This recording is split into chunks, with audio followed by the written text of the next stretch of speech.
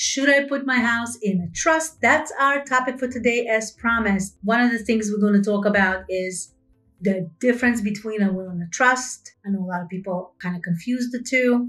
How does the process work? How to avoid probate? That's a big one. Various types of trusts and their purpose. How long does it take to complete the process and what does it cost?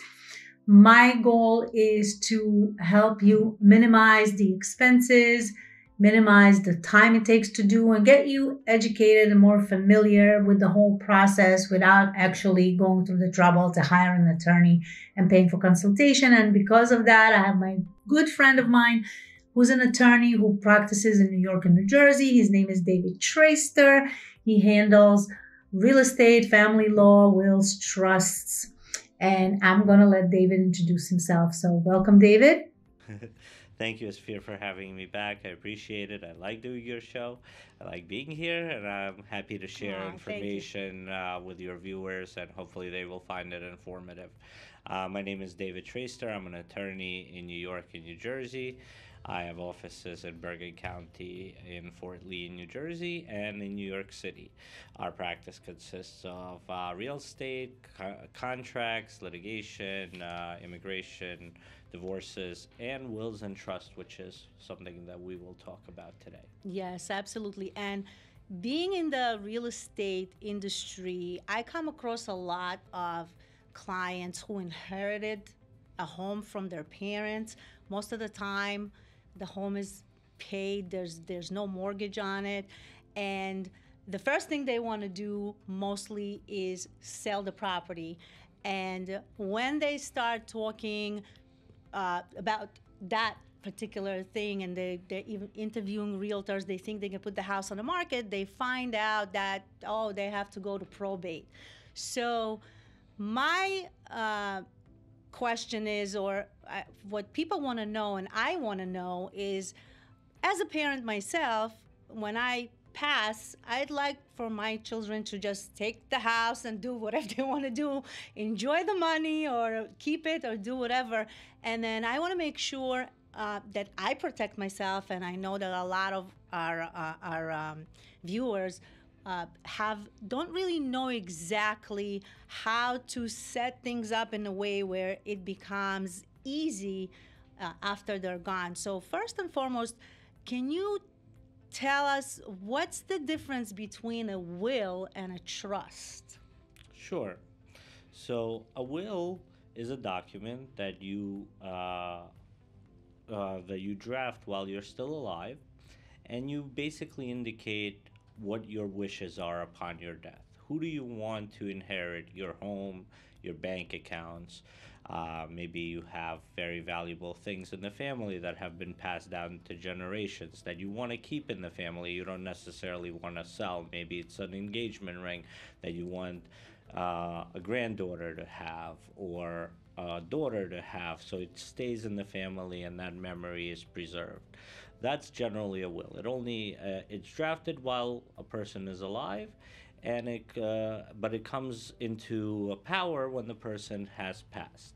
A trust, the best way to think about it of a trust is like a separate company or a separate legal entity. I use the word company because uh, companies have tax ID numbers. The trust has to have a tax ID number.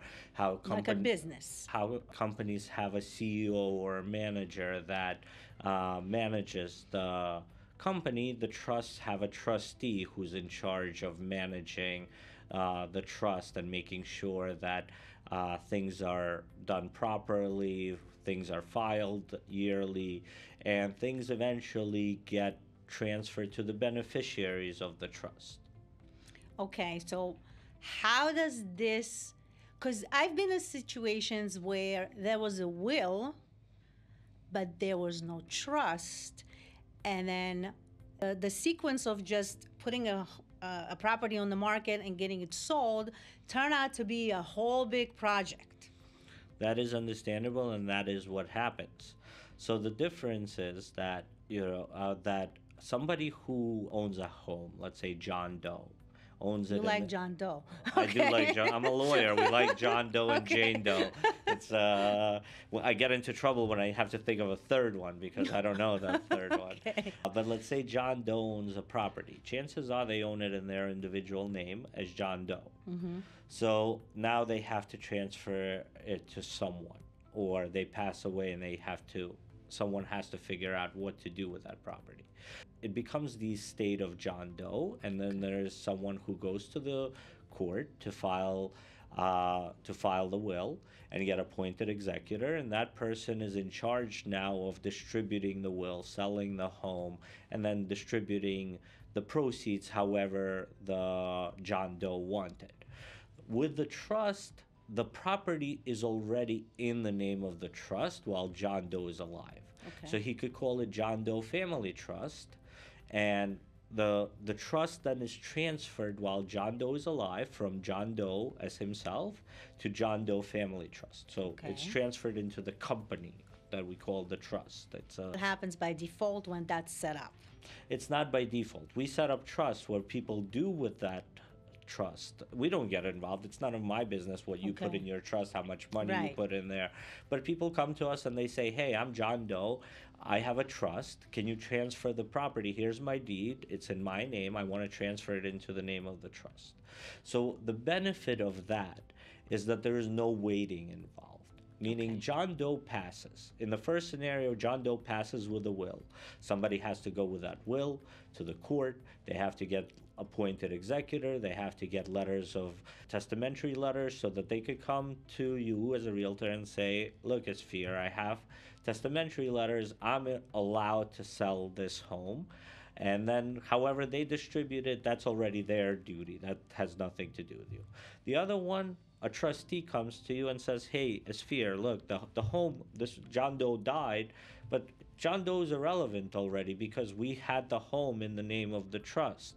So whether John Doe is alive or not is irrelevant. The trustee could really quickly turn that around. You don't have to go to court. You don't have to wait for these letters. It's a separate legal entity uh, from John Doe individually, and then they could turn that around very quickly. Okay, so when the trust is not in place yet, how long will it take to get the will into that stage? It varies. So to finish a probate takes months and months and months. But you as a realtor and many people who are in the business of buying and selling real estate, they don't care what happens to the estate. They don't care how the executor distributes the money from the sale of the house. That's their job. That's later on. They they care about how do we list it? How do we sell it? And to do that, it usually takes a few weeks, maybe three to four weeks, sometimes a little less, depending on the courts, depending on where the court is lota- located, to get testamentary letters that allows them to do that. But as you know, in real estate, every month, every week matters. You you move, you know. There's a very different market in the spring and the start of uh, summer than there is at this time of the year in December. It, it doesn't take long, but it, with a trust, it's instantaneous. Okay, so what the probate by itself would be something that is going the is going to have to happen regardless of how that was set up or can we avoid probate because i know probate court and hiring attorneys and i know you're an attorney nothing personal you're my friend but uh, people don't want you know we try the point is like i would like for for my viewers and my community and anybody else who, who's who's watching this to have an idea of what how to minimize the expenses and the headaches and the running around because you know what? Uh, you lose a family member and it's great that you know they left you a home but but you are going through sadness and you have to dig into personal items and it's very painful and a lot of people um, you know they, they go through a lot of emotions. So you, you you you don't want to keep them in that you know constant emotional roller coaster so how do we minimize that is probate really necessary, or can we set it up in a way where there's no need for a probate court? Well, if you have a trust, that's one of the benefits of a trust is that it avoids probate. You don't need to go to probate if there's a trust. Now, some people have a will and a trust. They might have their home in a trust so that you could dispose of that quickly, and then they might have their bank accounts in a not under the trust. They're in their own personal name, and those that you have to go to probate for. Uh, so uh, trust generally set up and it avoids the probate. It avoids this month and months and months long process where the executor has to show to the court how they what kind of money they got, who they distributed it to before the process is closed off. Because a trust is its own separate legal entity, it continues living on even after the person is di- uh, has died. It's uh, that's why I use the um, analogy to a company because Right. you know It's Apple easier to understand, Right. Yeah. Apple was owned by Steve Jobs. Steve Jobs died. Apple carries on. Yeah. Uh, nothing had to be done from that regard. So same thing with the trust. The trust carries on based on the wishes of the person who set it up, and the trustee determines when it's uh, to be distributed. Now maybe uh, you you said that the person who dies generally just wants the house to be sold off. That's not always the case from what I see. Sometimes they want one of their children. Maybe they have three children, and one child, two children are married with families, and one is not. And they want that child to live in the home, you know, without rent, without anything, because they don't have a family and they could keep it that way. But they don't want to leave the home just to that one child. They want to split Right. it evenly between all three children. So they might set it up in a trust where the person is the trustee allows the one of the children to live in the home until that child dies or for a period of time and then it's distributed. So it's all it's its own separate entity and it's controlled separate from everything else based on the trust agreement that was set up. So, is there a specific type of trust? Because I've heard of like uh, in living trust, and So yeah, so there's I think New York recognizes something like 26 different types of trusts. of We- course, we- New York will make it difficult. We don't do them all. The the trusts that we generally see are revocable trusts, which is the most common, which is the living trust, what you uh, specified, where a person would set up a trust.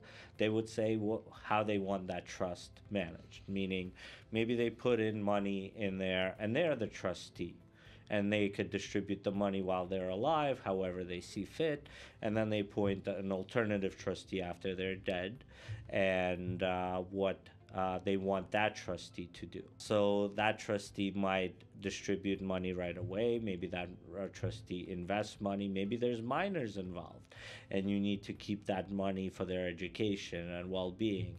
And this is a very popular question we get: When should I give the money to my kids, right? Because uh, legally, a child is an adult at 18 years old. If you ask most parents, should something happen to me, do I want my 18 year old to come into all this money? The answer is no. And then you get into a question well, what's a proper time? Is it college graduation? Not everybody goes to college. Grandpa and grandma age. right. So uh, there's a lot of consideration. There is no standard. Some people do 25, some people do 30. I personally like the age 25. I think that's a good age uh, for people to specify uh, what happens. And uh, a person, 18 year old, I mean, come No, on. it's like too if, I, if somebody gave me a ton of money when I was 18, and I was a responsible kid, but uh, if somebody gave me a ton of money when I was 18, I probably wouldn't be sitting as a lawyer in this chair. so you said revocable trust. So revocable means you could revoke it, meaning Okay. you could change it however you want while you're alive. When you when you pass, it becomes irrevocable. Okay. Now, some people set up irrevocable trusts initially. They're done usually for a very different purposes. Some of them are done. Uh, uh, irrevocable trust means you can't change it anymore. Uh, Right. Meaning, so if you own the house, if you own the bank accounts, and you put them into a trust, uh, the trustee is in uh, charge of that. You can mm-hmm. no longer come to the trustee and say, "Hey, trustee, I want to keep the house. I want to keep living there." The trustee could say, "No, you're out." Like, I mean, it's rare that we're talking about, but this is what we as lawyers do. We think about the what if scenario, the- Right, right. the every possible What are the risks? unlikely, Yeah, right? that's what I wanna Because know. I I don't want my clients to be one of the thousands that makes it into the law books as an example of what happens. None of Yeah. us do. Yeah. Uh, so irrevocable trusts are generally irrevocable for a number of reasons. Some of there's some benefits with irrevocable trusts for long-term Medicaid, Okay. Medicare. I'm sorry, uh, care and uh, Medicaid, Medicaid care, and other times it's done as a guardianship against creditors because Mm-hmm. creditors could reach a revocable trust because you're still in charge of it. So the creditors say, well, what, why should we not touch it? Like you, you can give us this money. You're in charge of it. Mm-hmm. Irrevocable trust, the creditors cannot because you're no longer in charge of it. The trustee is. But that comes with its own set of issues. What issues? Well, if the trustee doesn't want to give you money, if the trustee Ah. wants to kick you out You of better the house, sure you you better the right, uh, you better trustee, ju- yes. take the right trustee. Generally, people who do irrevocable trusts have a very close family relationship with their children, where they Mm-hmm. know that their children are going to honor their wishes and not because legally they can't do anything. Mm-hmm. Uh, they they're they're legally the trustees in charge of everything. Okay, interesting. So to to sum it up and kind of give your take on it is from what my understanding is is when you want to protect and make make it easier for your heirs uh, when you pass is putting your assets well let's talk talk about just the real estate right now because i don't want to get into bank accounts and stuff like that. That's not my forte. But uh, uh, a home you would want to set up uh, a trust in such a way with a will uh, in such a way where when you're gone uh, it's uh, it's it's easier uh, to to process your wishes and for your heirs to obtain, uh, let's say, uh, power and ownership over the property and and have choices and can can execute their choices as they please without getting too much into the court system. That Am I understanding? That is correct. That Yeah. that's usually correct. The trust certainly accomplishes that much easier. Uh, another way to do that is called a quit claim deed, meaning while the person is alive, they transfer ownership to maybe their son and their daughter. Because uh, let's say they do have a will and they have two kids, chances are that's who they want to leave everything to. They want to leave everything to their son and their daughter uh, if they don't have a spouse. If you have a spouse, you cannot disinherit a spouse. You cannot disinherit a spouse in New York, New Jersey. You can't disinherit a spouse in any state at all. Uh, so even if you don't like your spouse, you have Too bad. uh, too bad. You have to leave them something. Uh, but uh, what what could be done is while that person is alive, let's say they have a son and a daughter, and they know that the son and the daughter will inherit the property anyway. So what they will do is while they're alive, they'll sign the property over to their son and their daughter, and then the deed will be recorded, and they will own it right away. They so when Mm-hmm. the person dies, I mean, again, we're talking about you need to have that close family relationship Yeah. because we hear stories That's all of all over the place that you know son is suing mother, mother is uh, Well, I think it's called trust for a reason. because technically the son and the daughter could tell the mother or the father, "It's Yeah. our house now, get out." Yeah, but I mean, generally it doesn't yeah. happen. You need a very it's a very rare instance, but Yeah. you want to make sure that that's uh, you know you generally they will allow the elder parent to live out their years in the home, but when the home uh, when that person passes away, the home could be sold off very quickly uh, because they are already the owners on the yes record. uh, so they right so that's the whole point is avoiding that part which is the probate so just hypothetically and i know you can't say for sure but what would one expect how long would a probate take as far as timelines and how much money can it cost i know everybody charges different Right. rates but like like like a rough idea so roughly. yeah So probate would roughly take around nine months to fin Wow. to finish Right. Meaning not not to get those letters. The letters we can Yeah, get quickly, fast. but if you're the beneficiary of a will and not to get that money from the sale of the house, it has to go through this process, and you have to wait for it until it's Yes. distributed to you. Uh, cost wise, I would say probably from twenty five to five thousand dollars, twenty five hundred to five thousand dollars. It's not that expensive. It's very time consuming. There's a lot of filings that need to be done. This was so much great information, such valuable information. And I know I've learned a lot. I know you've learned a lot. And I know that now you're a little bit or a lot more informed than before you started watching this video. If you have any questions for myself or David, you want to ask them in private, you can email them to keeping it real with Esphir. I will put that link for you in the description. But if you feel that you want to ask your questions right here in public, make sure you put them in the comments. Make sure to like this video, share it with your friends and family and subscribe to this channel. I work really hard for you to bring you some valuable, amazing information that I know is important and I know that you want to know. So, thanks for watching, and I'll see you in the next video.